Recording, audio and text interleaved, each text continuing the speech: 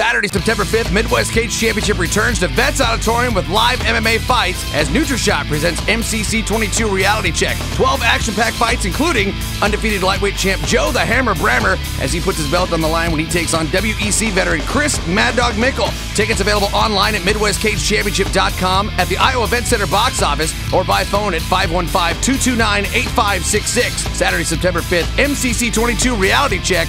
If it ain't MCC, it ain't real.